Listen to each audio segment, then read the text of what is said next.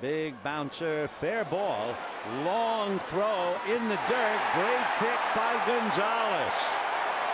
Whoa.